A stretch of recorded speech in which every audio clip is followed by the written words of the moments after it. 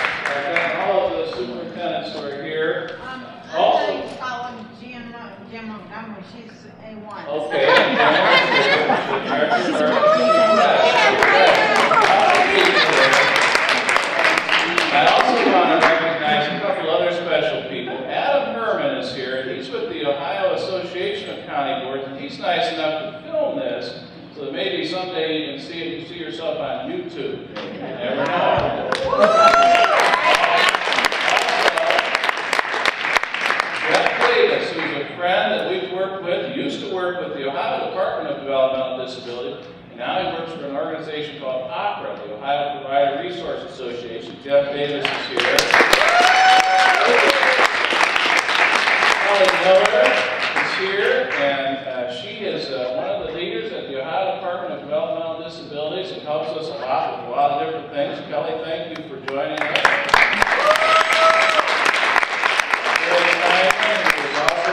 Department, has been a big help and communicates lots of information in lots of different ways, including pipeline, like, like Christine said. So Sherry, thank you for being here.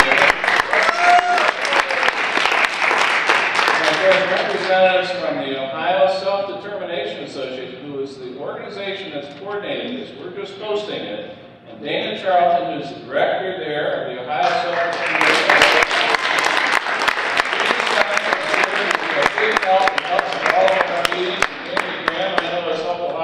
Franklin County, I don't know where Jamie is, but Jamie's right over here, so we really appreciate all of the support that we've got. Finally, I want to recognize another person who has helped to communicate a lot of the information that happens. Well, that, I, I do a little bit, but even more important is Rita Price, who Columbus Dispatch, and she's here to join us today. So we thank her very much.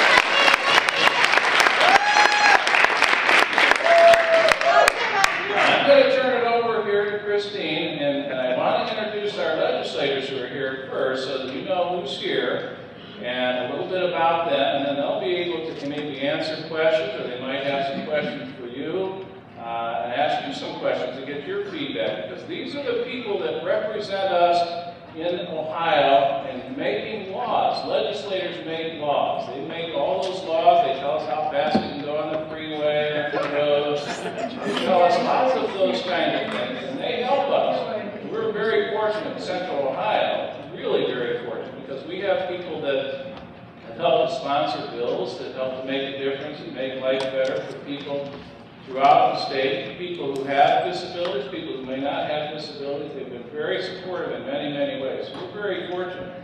And our representatives that are here today, starting on my far left, is Representative Bob Hackett, who is from Madison County.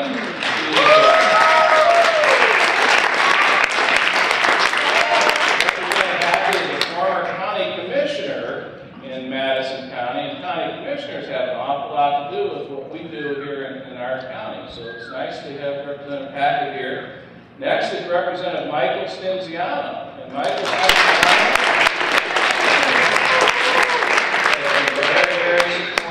may talk a little bit about another House bill that you may not have heard about, House Bill 84. It has to do with accessibility uh, in houses and, and uh, something you might talk about. Michael is an attorney. He also used to be the, the director of our Franklin County Board of Elections. So he is a very good friend too, and we appreciate him being here. Next, to, and, and also uh, another person by the name of Mike is Representative Mike Curtin. And Mike Curtin is here. He has been a great, great friend for many, many years. Uh, Representative Curtin used to be the president of the Columbus Dispatch. You ever read the Columbus Dispatch? You see a picture in there, maybe? Representative Curtin used to be the president, and uh, he is now state representative, and he's great support to our community here in Franklin County. So very glad to have Representative Mike Curtin here.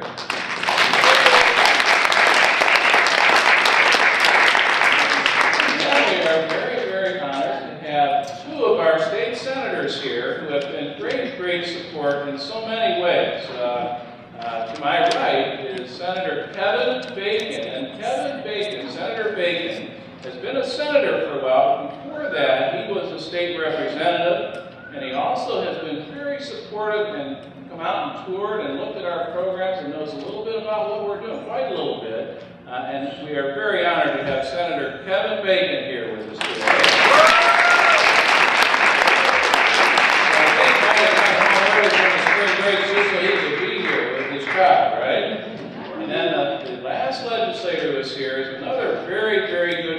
think I is Senator Charleta Tavares. And Senator Tavares has been a Columbus City Council person. She was on Columbus City Council. She has done lots of wonderful things. She runs an organization called MAC, Multi-Advocate, uh, Multi-Ethnic Advocates for Cultural Competency. And it's a great organization throughout the, that, works throughout the entire state. And she also is our state senator. So we're very proud to have Senator Charleta Tavares here.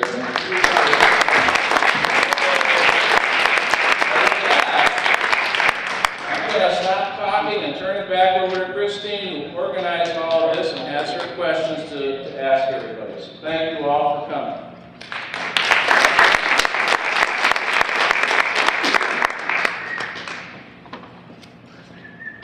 Thanks, Jed. Now, the questions that came up from all the input I was collecting and people asking me for saying their concerns, we had these questions, and what I'm gonna do is, um, I'm gonna ask this question.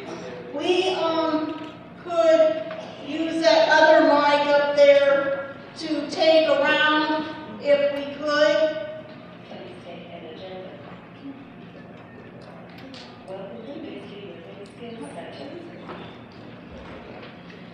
Um, I'm gonna Wigging to take charge this time going around, her first time to do that.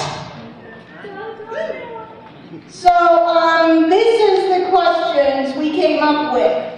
Please provide an update on Employment First initiative. Right now in Ohio, Employment First went into law where people with disabilities try and go for community employment first before going into a shelter workshop. Um,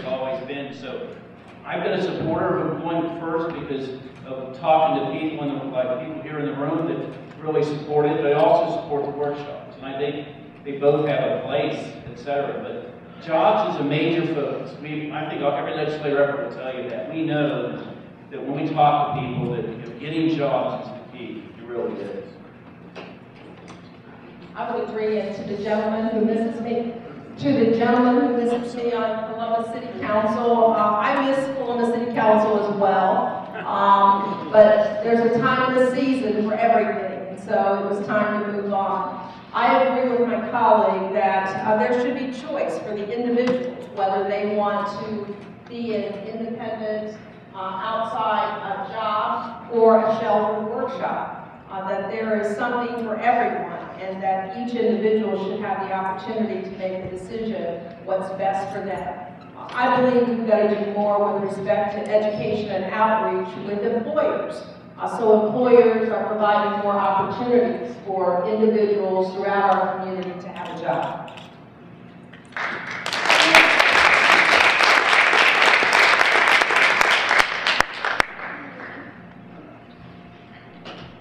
Yeah, that cleanup. Good morning. Uh, thank you so much for the invitation. Maybe I should stand up sort of in the back and see you. I just had a dental procedure. Sorry if I'm talking a little funny. My mouth's still a little numb. uh, you know, it's always a joy to work uh, on, on many of your issues, and I have since I entered the General Assembly with various pieces of legislation. Um, and uh, we'll continue to do so. And, and what I do know is that we have a lot of different individuals here um, with a lot of desire uh, and abilities and talent, very special people. And we're going to work hard in the state of Ohio um, with initiatives like Employment First and others to try to work to, to, to match you up and to find out, find a good place, to do a better job in our position as, a, as, the state of Ohio um, to, to identify whether it's a workshop or whether it's employers uh, that can better utilize your talent. And that's, that's what it's all about, it's expanding opportunities, um, and trying to pair many of you up with what is a good fit for you. Um, and we're going to keep doing that uh, through Employment First and, and any other initiatives we're working on.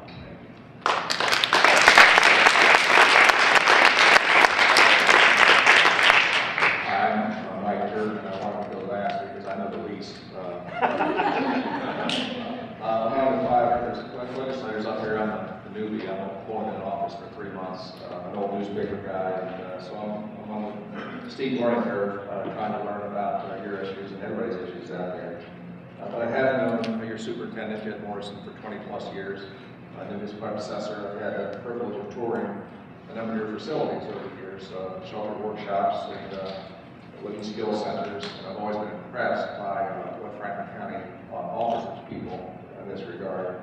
I was born in 1951, and so growing up in the 50s and 60s, I have some recollection of what was available back in the day and what's available now, it's tremendously gratifying to see uh, the proliferation of opportunities available for folks. It's marvelous. We need to keep, uh, keep it strong, keep it growing, and uh, my uh, sense as a new legislator is we just need to hear from Jed and the board and your leadership, you know, about uh, what opportunities uh, need to be preserved and what new opportunities need to be presented uh, we did, you know, uh, listen intently to what we can.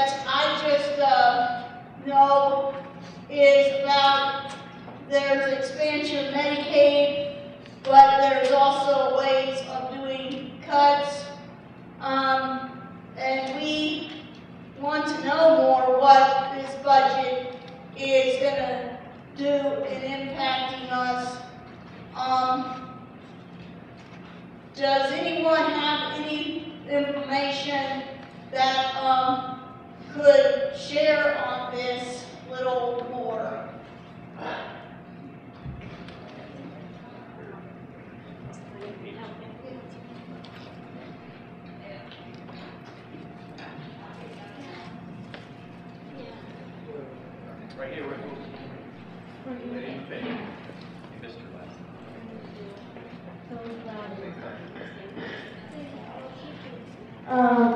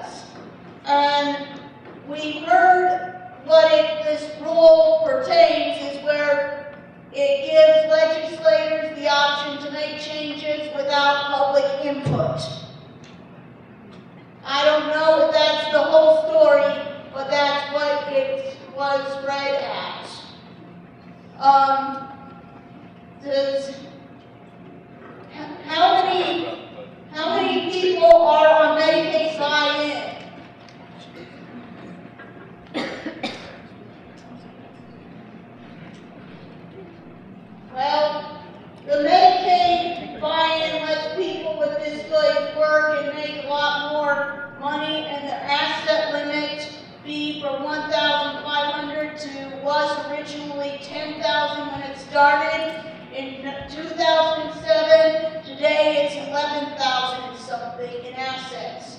We don't want to see them with employment first being the focus, getting jobs, and then see this Medicaid problem.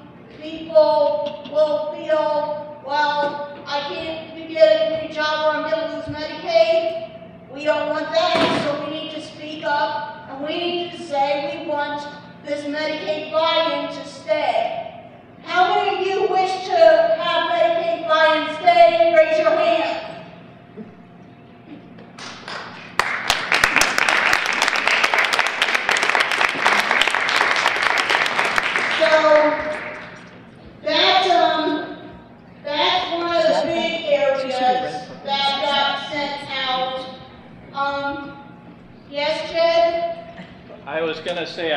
This is an area that maybe, uh, if the legislators would like, we could provide them.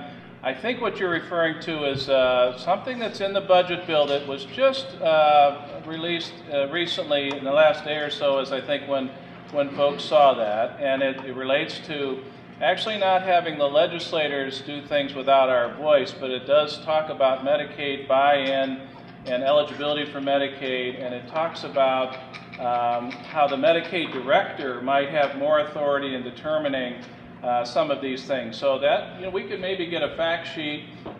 I think I saw something from the Ohio Developmental Disabilities Planning Council that just came out yesterday or maybe the day before. So our legislators may not know all about that quite yet, but we could get a fact sheet to them and share that information, and then they'd have time to really think through that, if that's, if that's okay. Yeah, um, that's just something that, uh, was sent out and it really striked that we better not wanna see individuals lose their Medicaid if they get a job.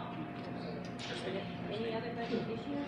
Okay, Michael, or jump in here. Yeah. So to that point, we really appreciate the opportunity to be here and hear that feedback directly from you. As you may know, the budget is the largest piece of legislation, fourteen hundred pages. It's very, it's very complicated. And so it's something we're all working on, particularly the members in the state house. The state senators haven't had a chance to see that. But seeing your hands, getting your feedback on those kind of provisions are important. So don't hesitate to continue to share your feedback, other information as you hear it, to let us know that concerns out there. Uh, the budget has a number of pieces that are going on, uh, you know, uh, Medicaid expansion was so important, you had two questions, uh, today, and, we appreciate that. But really take the time to provide that feedback of what you're hearing, how it would impact you and your concerns. And this forum's been a wonderful opportunity, uh, for us to see that and hear that directly. So thank you for giving us that opportunity and for making sure we hear that question.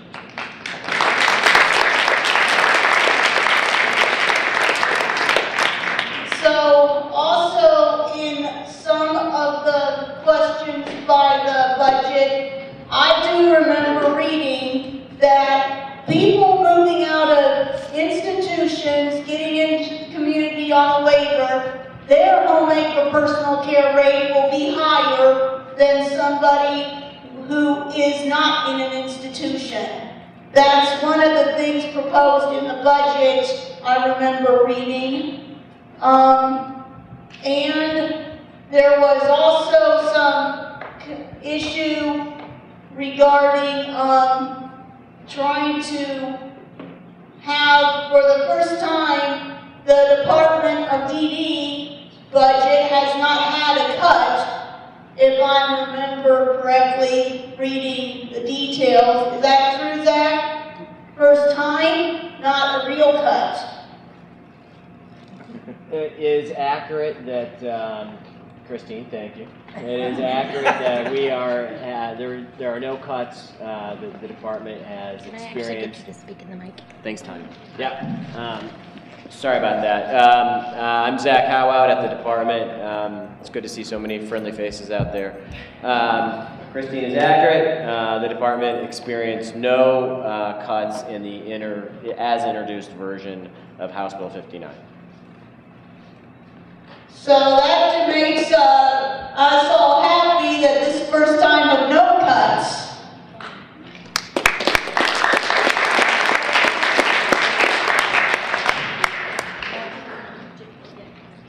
Um, Zach, um, sorry.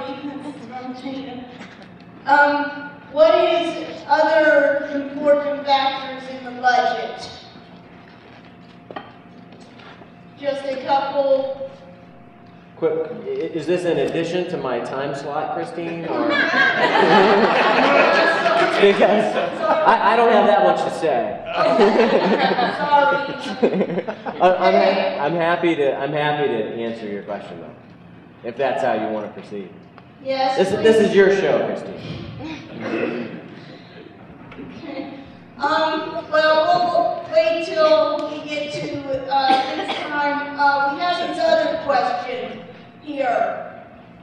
Parking lots are not wheelchair accessible, need wider spaces for lift vans, cannot get out and have to pull over in unauthorized, or it's called unmarked, spots, this is not unsafe. How many of you in there have said this over the past two months, or even if you haven't been to OSDA? How many of you think the parking is just not really focused on well?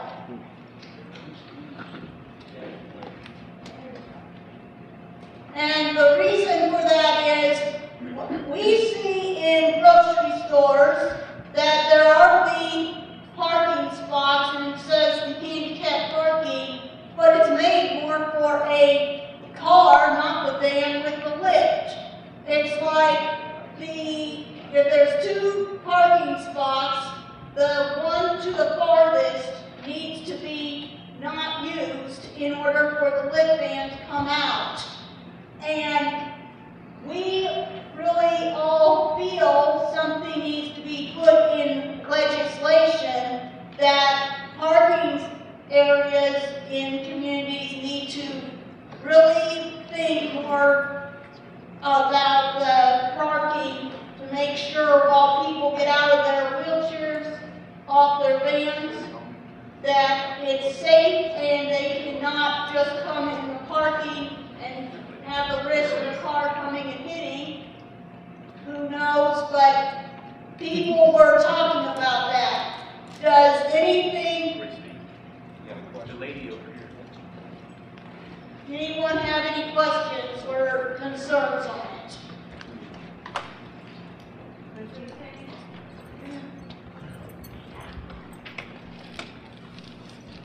Uh, you have it to be on the side, then the, um, handicap needs to be long too, because I know we have vans that the lift comes out in the back, and the handicap spots are not long enough for when you get the wheelchairs out, it's more or less, if you're in a parking lot, the, if a car comes through the parking lot, the, the wheelchair, they get hit because the, um, uh, the cars are not looking for a wheelchair.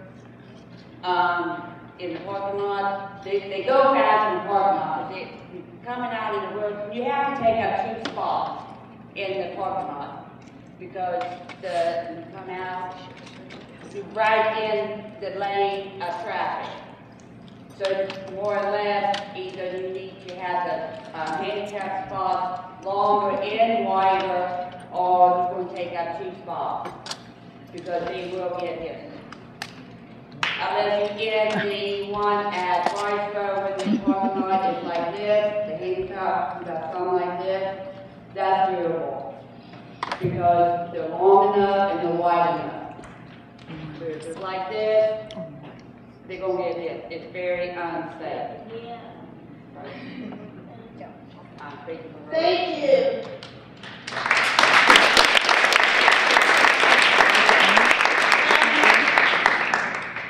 Anyone in the back before coming over here?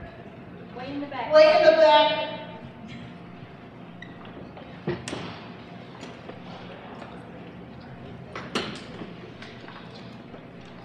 Hi, I'm Helen, I'm from Sage, and they do have trouble, uh, cheers when we go out. They have trouble, uh, getting into stores, getting into restaurants, so they do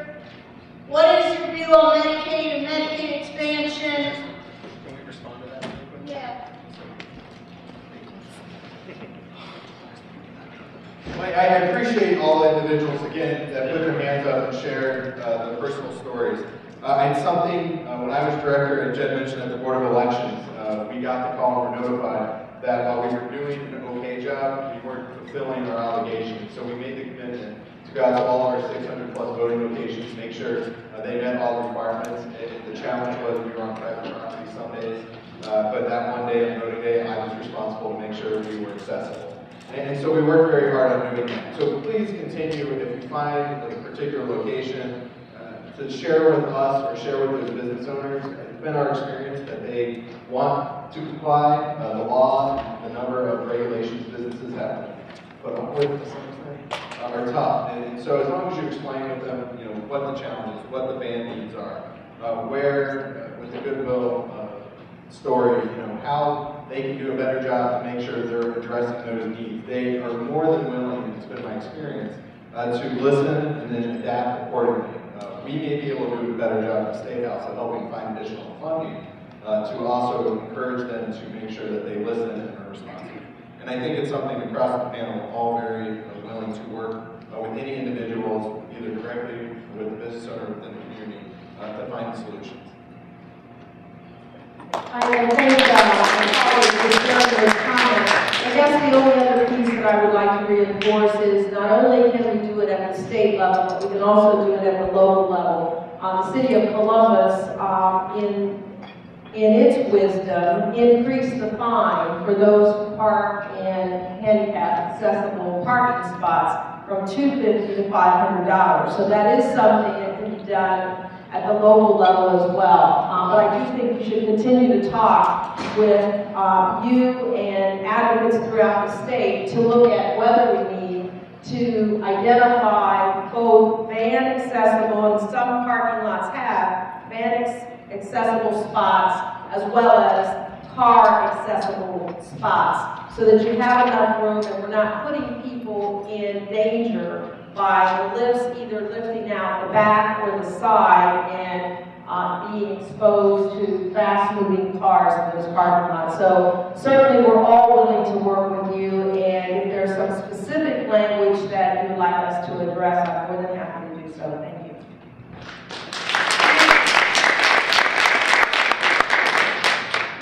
Anyone else have anything? Christine, the other one. I'm I'm thinking of, sorry. I, I think my colleagues have it well that issue. Without a doubt, our office will, will reach out, some of the members of the business community and others, and see, what, you know, if there are changes that we can make, um, to help all of you out. Because we don't think of these issues day to day. You, I mean, you're, you giving us this information is extremely helpful, okay? Uh, we all have expertise in many different areas, but we don't know what's going on on the ground. Uh, so that's very helpful. Let me go back just very briefly. I didn't have a chance to comment on the Medicaid buy-in issue. I was, I remember when Medicaid buy-in was created. Uh, Christine hit it right on the head. Um, why are we launching um, a program like Employment First to get people to work and to make a little more money if on the other hand, um, we don't have proper eligibility requirements in Medicaid buy-in? uh, my law practice, I work with people with special needs all the time. I have clients right now, one that I'm getting into the Medicaid buy-in program.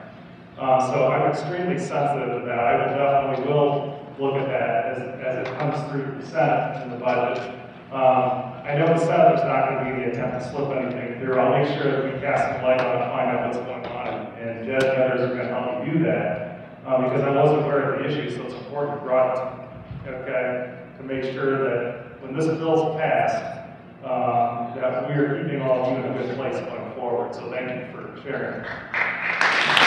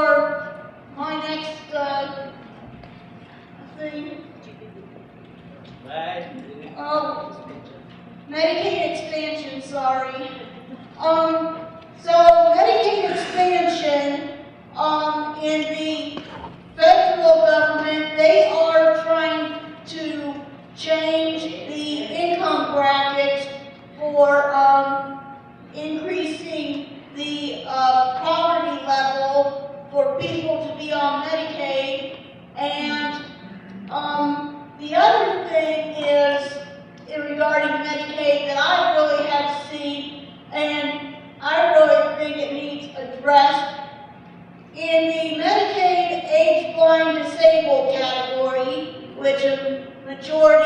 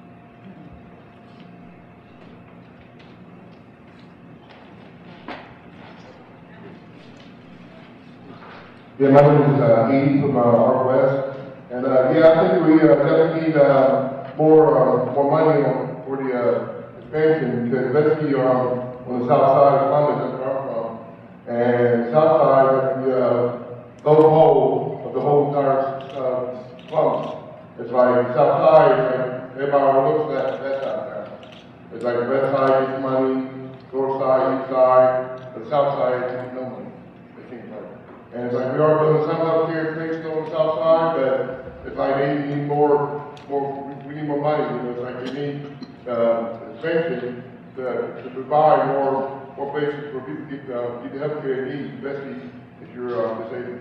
Thank you.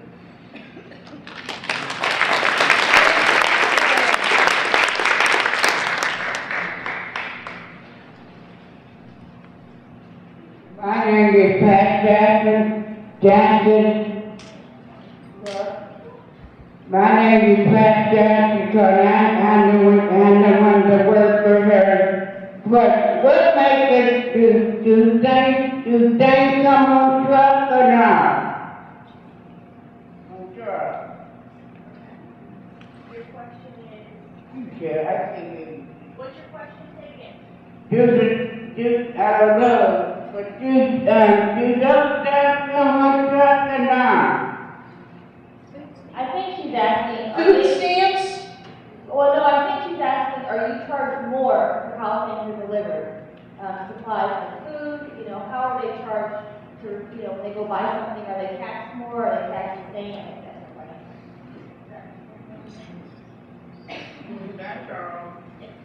Talking regarding taxes. Yeah, what's in the budget, like with her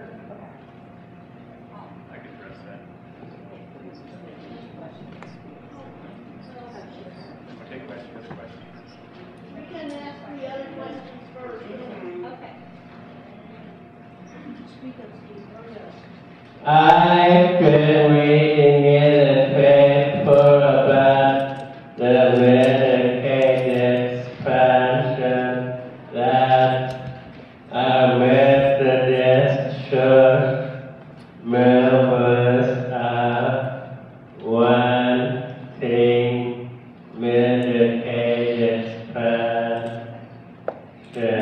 What do you think of this, uh, what they are wanting it to become?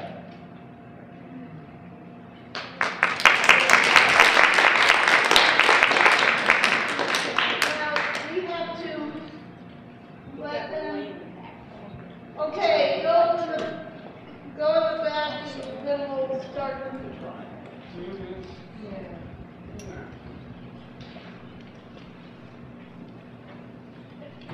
Yeah, my name is Paul I'm also from Delaware, Ohio, and there's an issue that came up about the providers, uh, ain't had a raise in eight years, and was just above minimum wage what they've been paid, and they're really un, uh, what's I say, underpaid. And is there any way that they could up that, uh, so they could actually get paid more? So I know some providers act like they, they want to be there for the money, but they're not there for their, their clients. Uh, there anything that you'd like to put in on that? Yeah, that is important because when the labor reimbursement system came out, the federal minimum wage was five fifteen an hour, and it's never been increased or changed, even if cost of living has gone up. So we, that is a good point also, that we really are concerned in because we do not want to see staff leave because they're being underpaid or not work good, which we do not like to see. Actually, it's, uh, the people that work at the Humane Society, that, uh, take care of Fluffy, are actually getting paid more than the, uh, people that work for us, which is our provider. My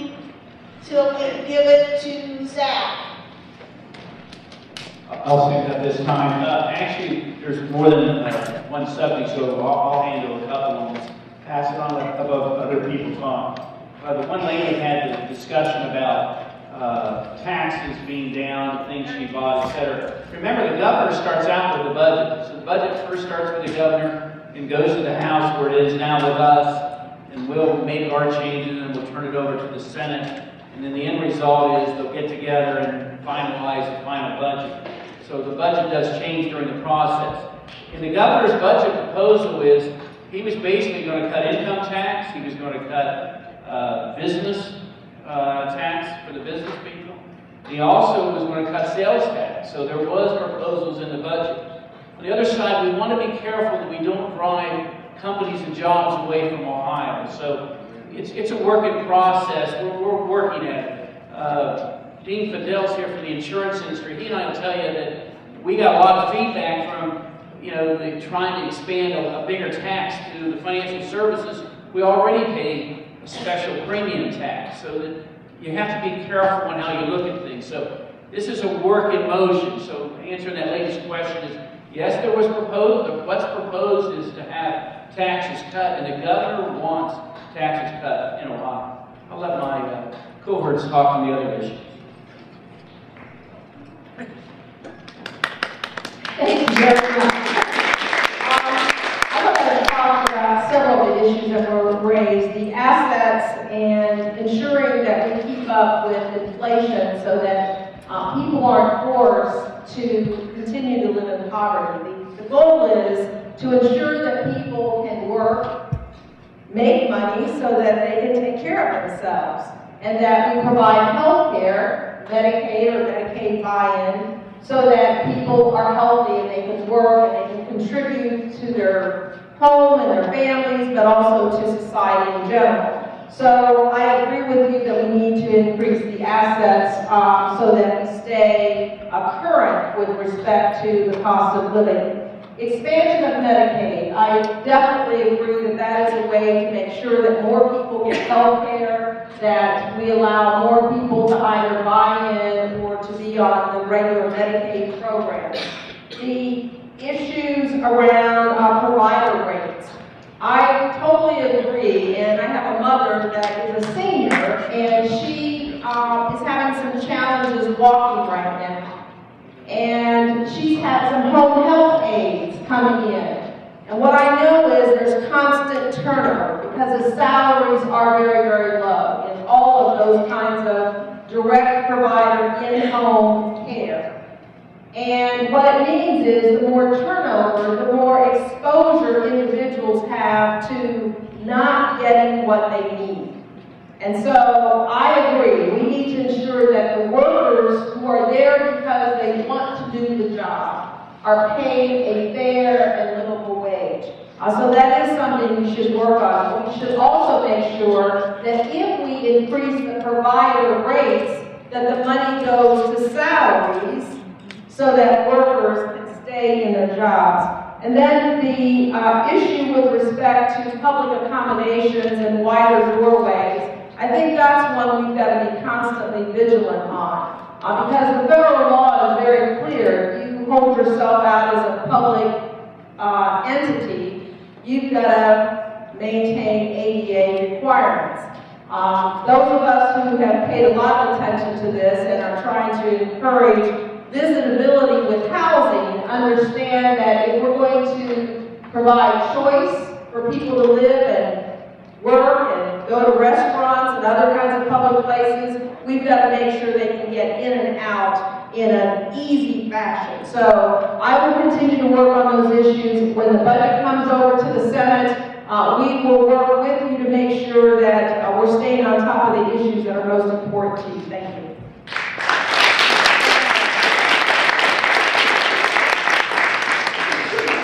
Uh, Thank you, Christine. Of all the issues uh, raised this year, uh, perhaps the Medicaid expansion is the most important uh, of all. There are three or four major issues uh, this year, and that's certainly one of them.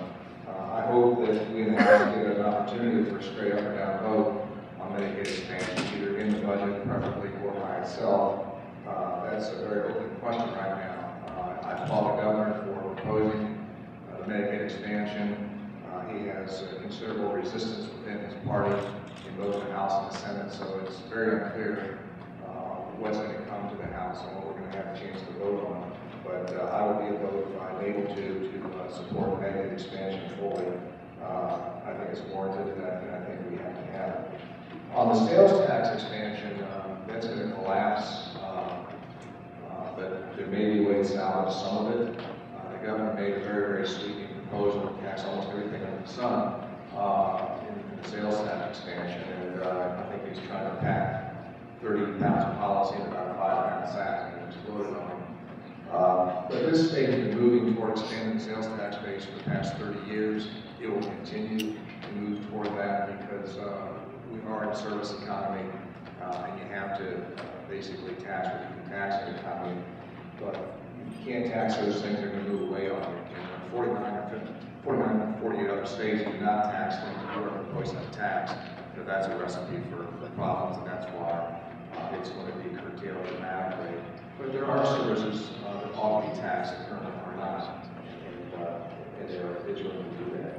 So I hope that we continue pushing for sales tax expansion, but not in a manner that's going to uh, uh, cost us jobs, and that's why it's not on the stand as uh, proposed by the government. Um, Thanks, Mike.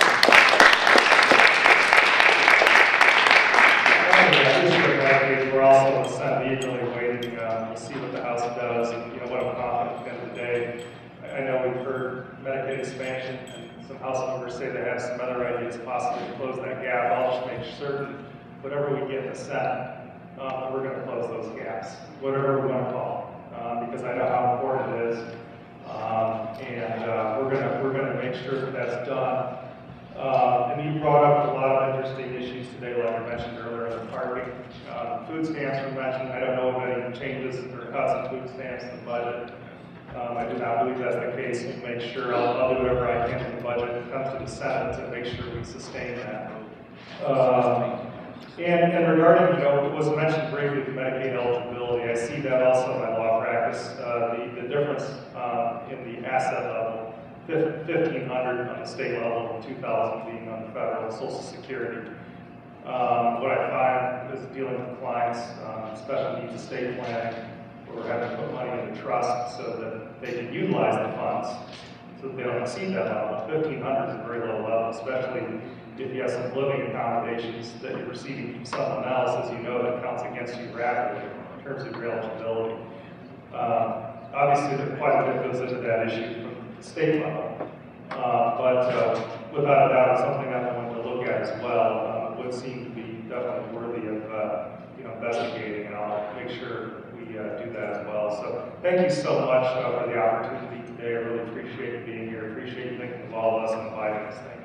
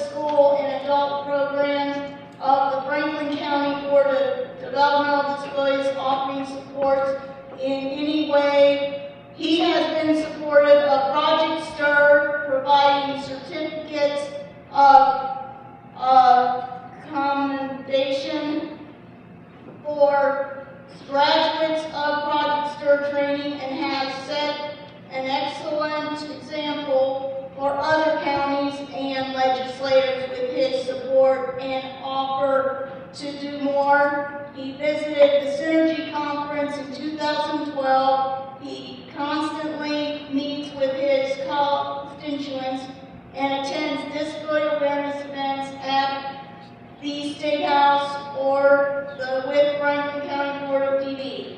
Representative Michael Stinziano is excellent legislator working collaboratively with other legislators of both parties to improve for residents in his district in Ohio, especially individuals who have this voice and who benefit from his voice at the State House. Steps towards independence and responsibility recognizes the fifth day, April, by Central Region of Ohio Self-Determination Association.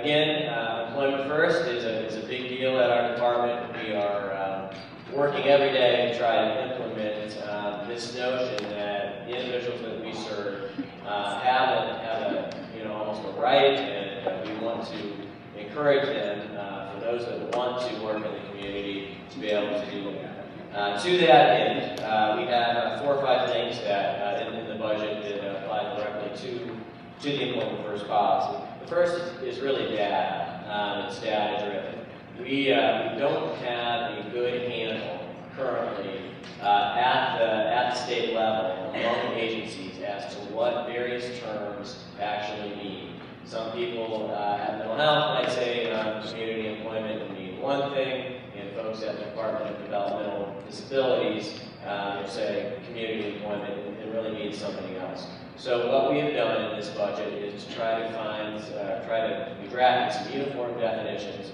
for things like community employment that will apply to all departments.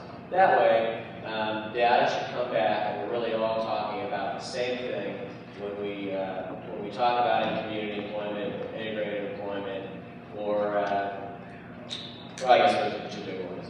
Uh, in addition to that, uh, we have a presumption uh, in the department, in, in this budget, uh, a presumption that all folks uh, with developmental disabilities are presumed to be able to work in the community. Uh, that's something that we feel strongly about. Uh, currently, right now, we we know that a lot of folks are not presumed to be able to work in the community, and, and at times are um, possibly kind of directed uh, to workshops when they may want to actually work in the community. So uh, we're uh, asking that as folks kind of go through their ISP process, that they really take a strong look at um, community employment first uh, before um, it's assumed that someone necessarily wants to kind of work in, in a workshop. Um, county boards, we're asking county boards to also implement their own employment first policies, set benchmarks, look at things that they can do better, and then get back to the department um, with kind of what they think um, uh, needs to happen in order to kind of implement uh, community-driven employment first policy. In addition to that, there's the money.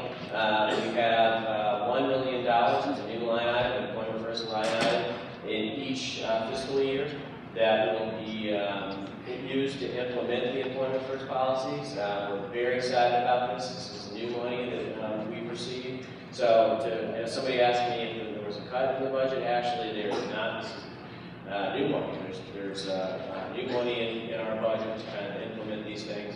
And we're very excited that uh, we've had OEM government support uh, for, uh, for that.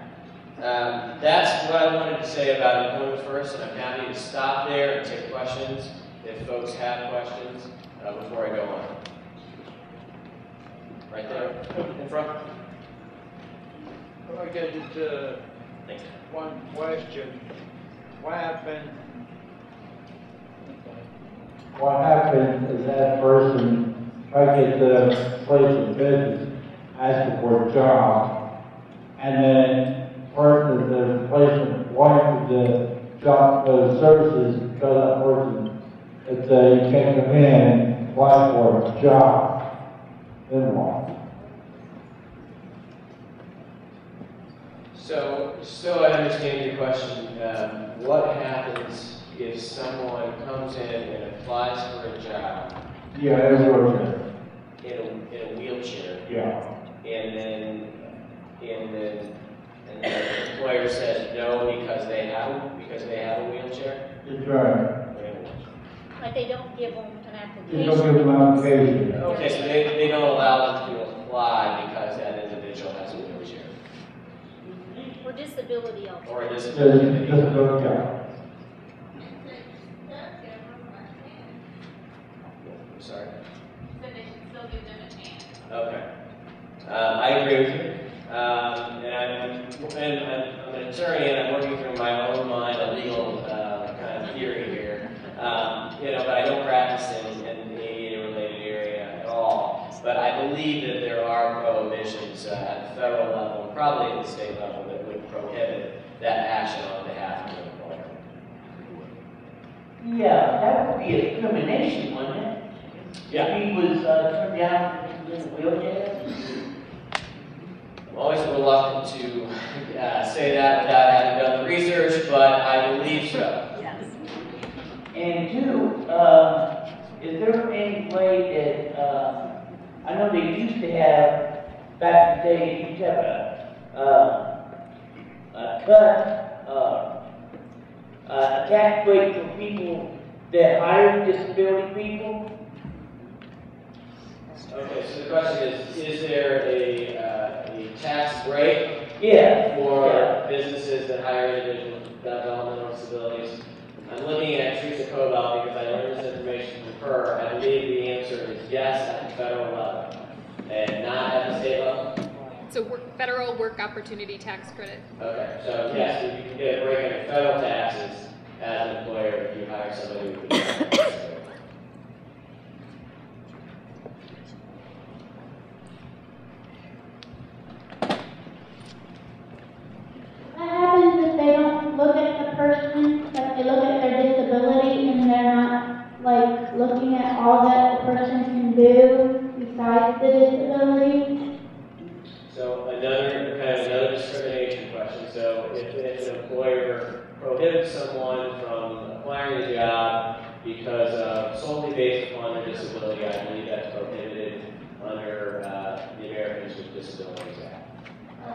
Thank you.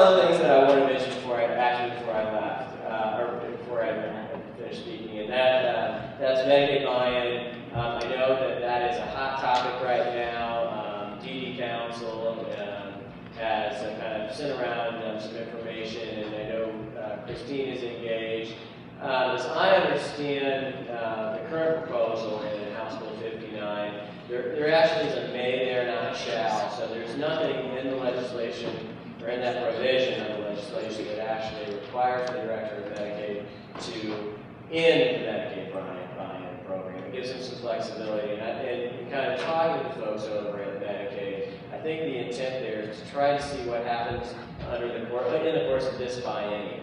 Uh, what happens with um, exchange? Um, what happens with expansion? There's a lot of unknown variables right now, and I think they're looking to try to see kind of how all that sorts itself out.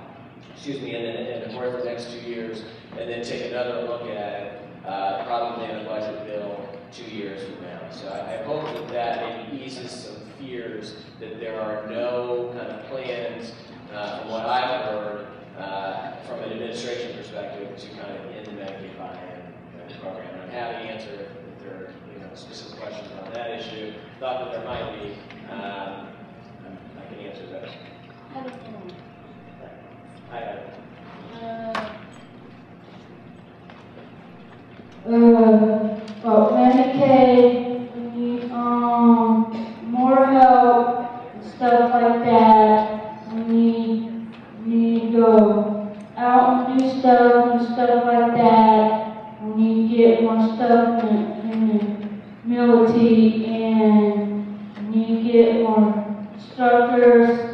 stuff like that, you know, for workshops, we need to get more security, we need to get more, get more, s- get more, s- get more stuff, get more, get more people in our workshop, we get clients, and more, and more attention.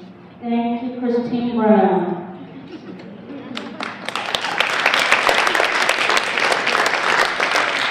I forgot to thank Christine too, so Christine, I don't, there you are. Thank you for hosting this event, it was great. Um, uh, that really kind of leads me to my ne- next, my final point, uh, in regards to expansion. Um, the governor has kind of put his neck out there, stuck his neck out on expansion. Um, and I, I'm, I may be a little more optimistic than, than some of the previous speakers. Uh, I'm, hopeful that, uh, you know, at the end of the day, uh, they look a little bit different, but at the end of the day, there will be some, something in, in line, something similar to Medicaid expansion that we ultimately see out of the House. But I would encourage each of you, um, each of you have, has a sphere of influence. Each of you uh, can call your legislator, even, even if you've already done that. Let them know that you're in support of expansion. Uh, call them, call them again. Um, every little bit will help in the push to ensure that uh, the House goes forward with expansion.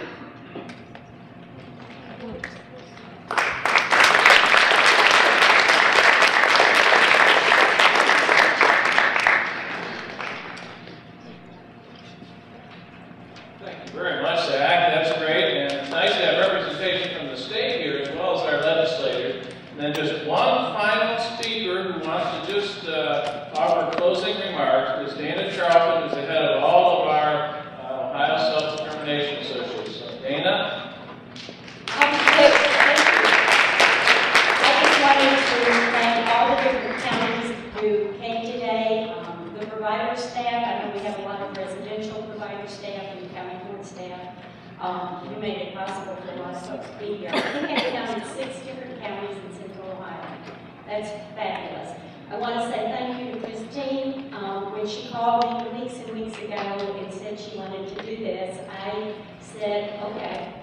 Um, really not knowing or not. She has really done this all on her own. Um, so.